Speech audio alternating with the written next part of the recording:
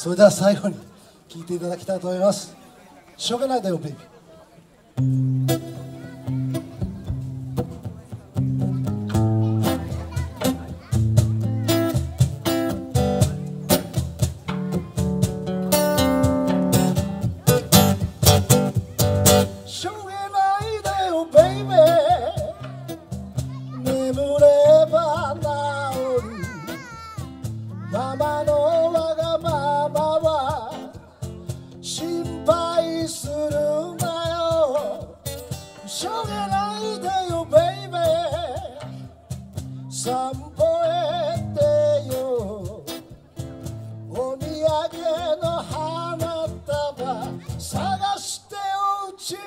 前のパパより知ってるママの優しい瞳。美人で自慢の僕の大切な友達。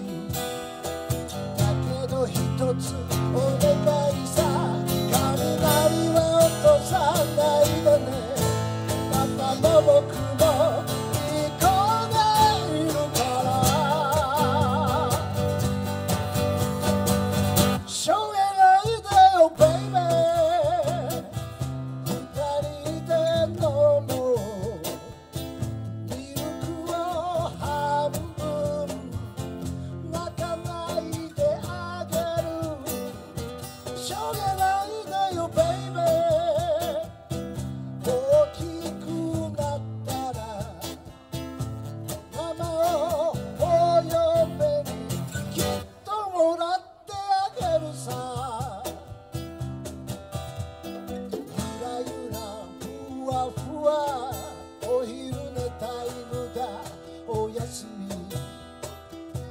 と一緒におせんべかね。